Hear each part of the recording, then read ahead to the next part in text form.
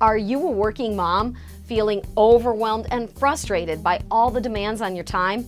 If you feel like you can never catch up on your emails, if you haven't had a romantic dinner in weeks, and you can't even concentrate on a bedtime story, then you are not alone. But the best way to conquer your challenges is not some new time management app or even getting up earlier to plan your day. No, the answer is meeting other moms who have some great insights on coping with the overwhelm.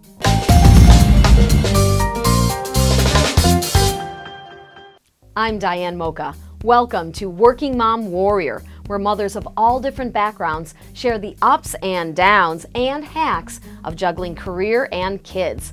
We want to help you feel less stressed and be that tribe of girlfriends you wish you had alongside you to cheer you on every day. I remember those crazy years of my life when I was so overwhelmed with kids and work and everything else that I got pulled over for driving while exhausted. I am serious, that's not a joke. It was actually a wake up call that sleeping four hours a night was not the way to tackle my to do list, which kept growing every day because I was trying to keep the recession from killing my business and keep up with my enthusiastic kids who wanted to play every sport and sign up for every activity. And I said yes to all of it. I don't regret that, especially now that they're teenagers, but I wish I had more guidance, like the kind I'm bringing you today from other working moms who share how they handle coping with being overloaded by kids and work.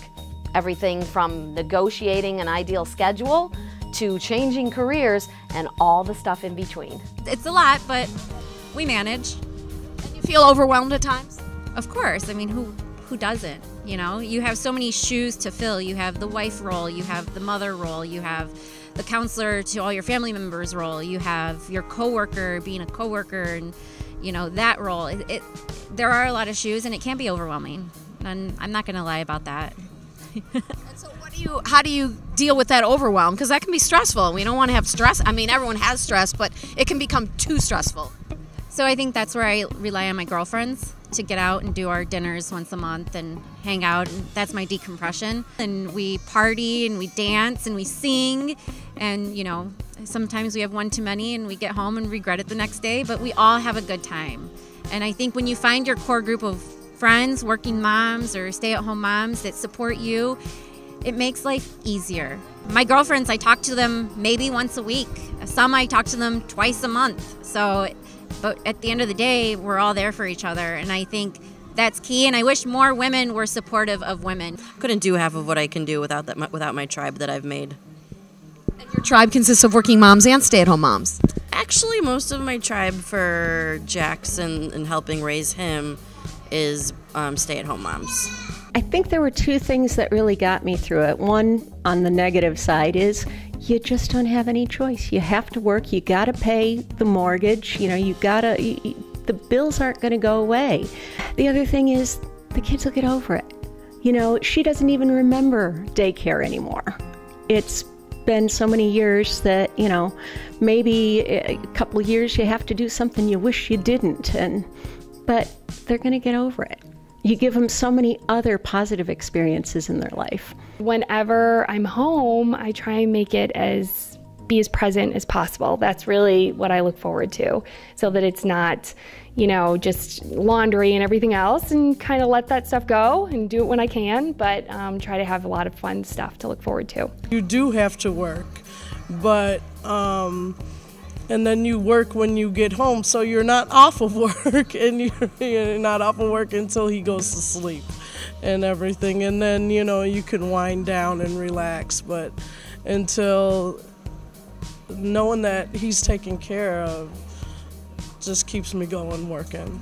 And at times i just want to sit down and just veg and everything and i and i have to sort of like talk to myself and say hey, give him his attention, let him spend, you know, uh, let's let's sit down, let's play a board game, you know, let's let's do something or he'll ask me to watch a movie. Okay, I'll sit down and watch a movie with you. And my habit is to usually get into the phone and play games where my mind is not, you know, and I have to tell myself to put the phone down and just divide my attention to him. You know, feel like you want to pull your hair out some days, and but then there's other days that are great, and you remember why you had such a big family, and it all just makes it worthwhile. So it's every day's different, every day's new. You just get through it. We're, it's a village, so my husband chips in, I chip in, the parents chip in. So I mean, we all just make sure that it all gets done. You have to manage your time, and it's it's not as easy, especially you have three kids. Follow your heart and just ignore everybody else, whether it's family or friends. You know, you know, you do what makes it work for your family. I feel like I just get bogged down in the stuff so much that I'm just like, I'm not fun anymore, and that's something that I'm working to change too. I take the morning shift, my husband does afternoon, and then I go to and I don't have to worry about her because my husband has it gets her in the afternoon, which is very helpful. And so, what about in the summer? She goes to camp. She goes to friend's house. She uh, spends sometimes time at my grandpa, uh, my parents' house in the summer. But how does she get to those places? Friends rely heavily. Most of my friends don't work, so I rely heavily on my friends and family. But then also paying it forward to them. So when on Fridays when I am off work, i am like I'm picking up all the kids today, and then when I ask for help, I know that they're willing to do that because I've helped them out too just today we had to grab we had to grab dinner lunch out and dinner out because we were going you know to go into a swim meet and then coming here and trying to make it on time and so people think they hear that, oh, that must be an excuse, you know, that you, you know, because can't you eat healthy? But it's it's not an excuse. No, it's not. And you know what? Could I have gotten a salad for dinner? Tried to eat that on the way down here, I guess, but it probably would have gotten to an accident. yeah, I end up eating in the car, don't you? yeah, absolutely, all the time. And talking. Yes. And doing business in the car. Absolutely. Yeah. So it was a rough week. And your boss was okay with that? Yes. My company is wonderful with work life balance. We are off every Friday afternoon all year, so we do a lot of things on Friday afternoons to try to make up. I'm trying to make up for that time that I've lost. Everything, getting her off the bus on a Friday afternoon means a lot to me. And I do wake up at 6 5 in the morning and I get to work at 6 and I get home by 2 3 o'clock. So, I mean, that's a benefit in itself. you do that for them? I do do that for them. And drink a lot of coffee for them? So you've created your own work-life balance. Yes. With the help of your employer. Yeah. Well, yes, they're very flexible. Um, I, I, don't know if I could have ever found another employer that is so. They back you with family. So if I have anything, if my daughters have a recital at school, they give me that time off to go and be with them. Um, they know family comes first. They're a family-oriented company, and I wouldn't. I wouldn't go anywhere else. I think companies are coming around to that now. I think they see that, you know, a happy employee is going to work harder for you and if you have that flexibility with them, they're going to they're going to give you their heart and soul and I think that's what my company does and that's why I do wake up so early and I give them all I have when I'm there and I get home and I give my kids all I have when I get home. I think the key is finding an employer that believes in that as well. Um, we have a number of groups at work, and actually, this year, our Women's Network goal is balance for better. Um, so, my employer believes in that. And I think it's important just to speak up and let your employer know what you want and what you need to make things work for you um, and not be afraid to have that voice. I didn't want to be super stressed out um, you know, with my husband and I rushing off to different jobs and a nanny taking over and, you know, running out of diapers and who's going to do this and spending our weekends catching up on all the errands. I just didn't want that life. It was too much stress. And that meant leaving my job. That was a, so that was a really hard decision and it was a sacrifice that I made for our family. I wanted to have this second career. I've always loved food. It was always a passion of mine.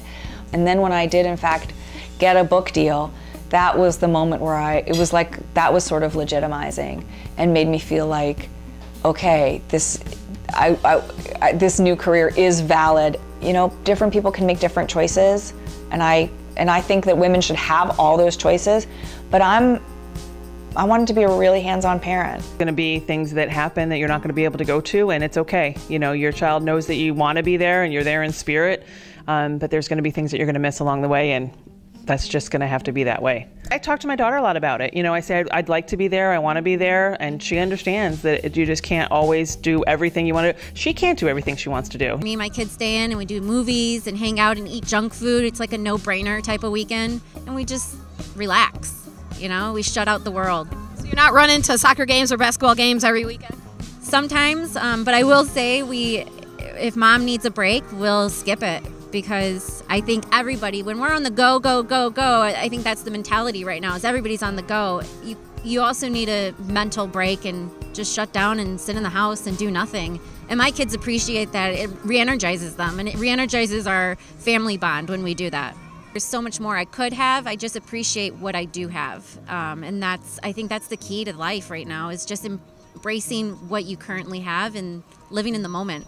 Now that you know other working moms who are feeling as frustrated as you are, and that it will get better, you've got more strength to face the struggle day in and day out. And I want to help by giving you more strategies from other working mothers in my next video, which will give you the courage to conquer your challenges. So subscribe to my Working Mom Warrior channel and click on the next video to boost your mojo as you relate to the successes and the failures of other working mom warriors who spill the beans so we all can benefit.